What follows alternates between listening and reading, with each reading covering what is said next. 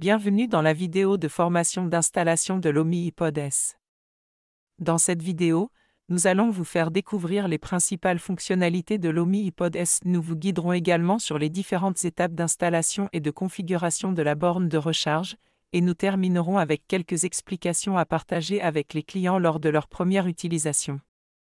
Avant de débuter, nous tenons à vous rappeler l'importance de consulter les mesures de sécurité à respecter lors de l'installation et de l'utilisation d'une borne de recharge OMI, détaillée dans notre manuel produit.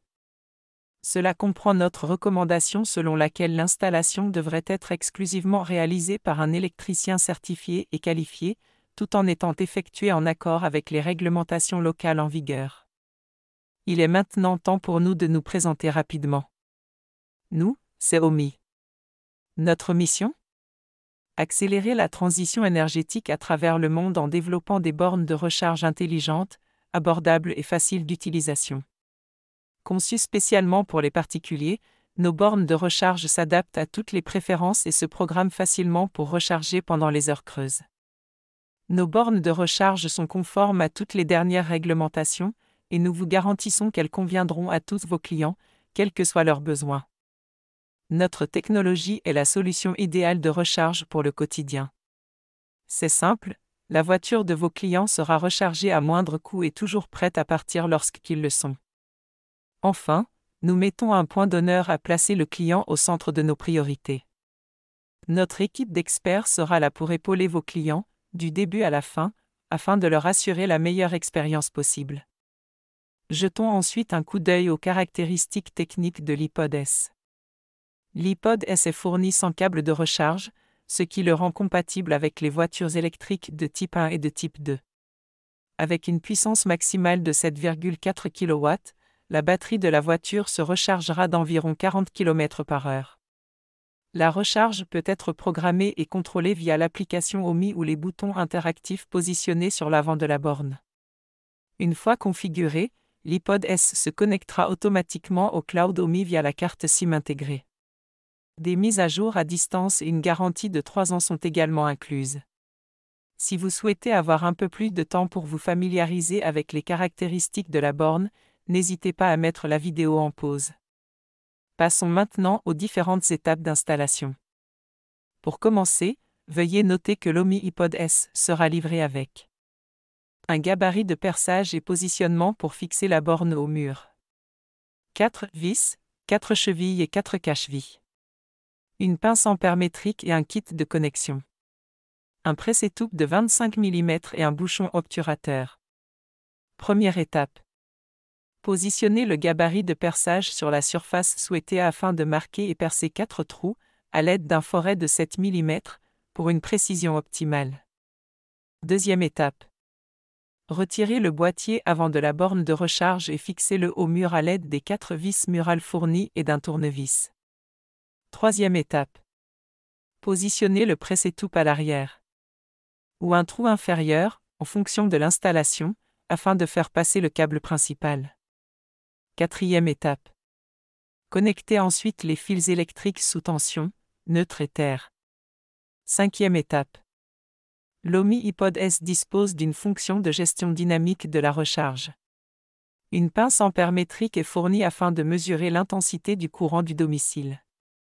Cela permettra à la borne de recharge de limiter le courant maximum disponible pour recharge la voiture afin de maintenir la consommation du foyer en dessous du seuil défini.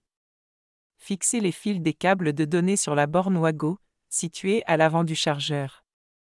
Si vous utilisez un autre câble de données et que vous avez déjà utilisé le bornier inférieur pour le câble principal, utilisez l'entrée arrière pour connecter le câble aux bornes de recharge.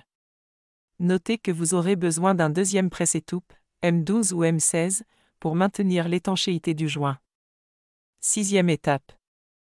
Une fois le câble de données fixé à l'intérieur du boîtier, connectez l'autre extrémité à la pince ampère-métrique à l'aide de la Litbox et des wagos à ressort. Septième étape.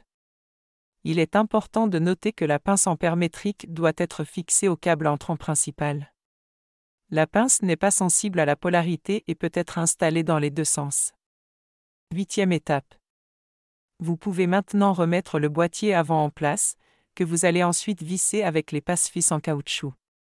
Avant de terminer, n'oubliez pas et de mettre en place les quatre caches-vis. Le diagramme suivant est un exemple condensé d'une session de recharge, afin de vous expliquer comment notre technologie de gestion dynamique de recharge fonctionne.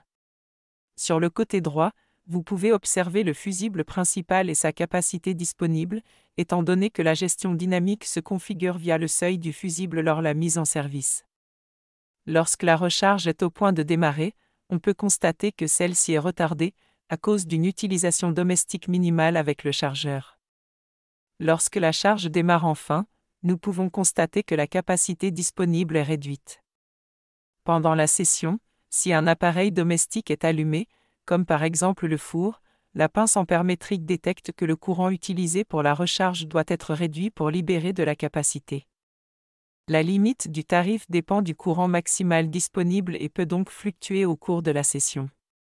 Dès que la recharge s'arrête, la courant disponible est rétablie automatiquement.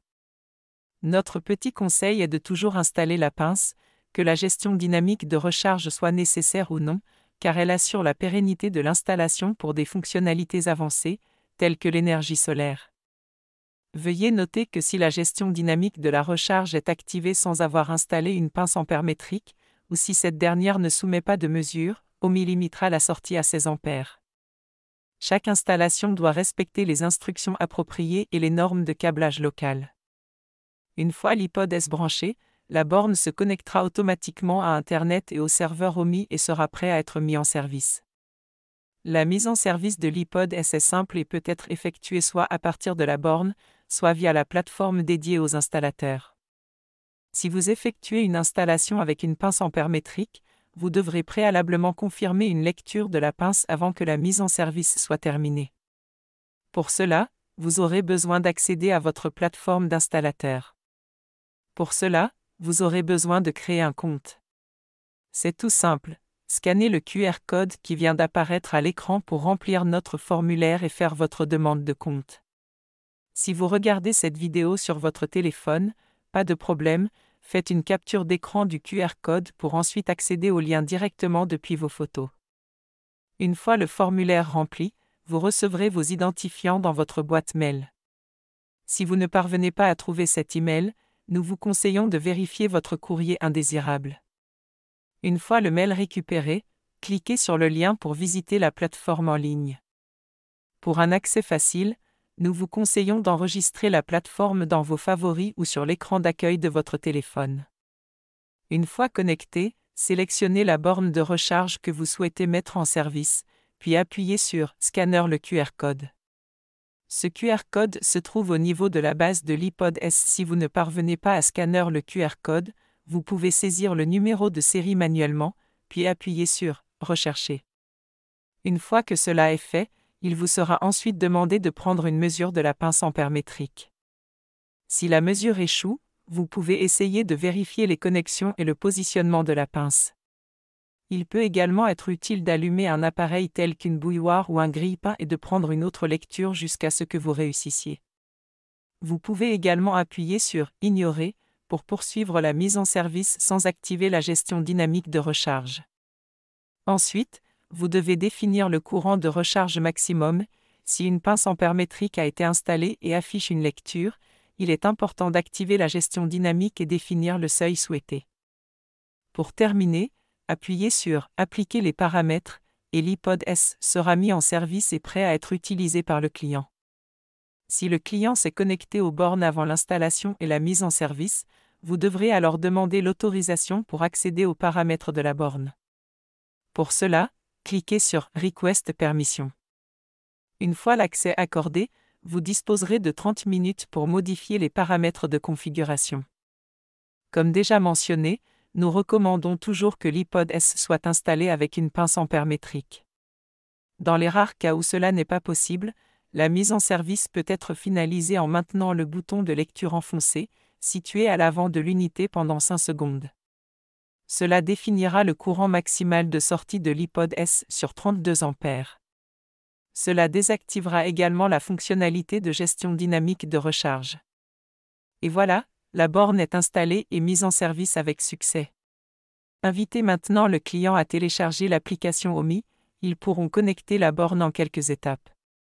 Afin d'offrir au client la meilleure expérience possible, nous vous recommandons de l'aider à télécharger l'application et de l'accompagner lors de la connexion avec la borne. C'est tout simple. Scanner le QR code sur la base de l'appareil ou saisissez le numéro de série manuellement lorsque vous y êtes invité. Le client pourra ensuite prendre le relais partir d'ici, en ajoutant son adresse de domicile, son tarif d'électricité et sa voiture. Enfin, si vous avez des questions ou avez besoin d'un coup de pouce, nous sommes là pour vous épauler. Nos experts et services clientèle sont disponibles du lundi au jeudi de 10h à 19h et le vendredi de 10h à 18h.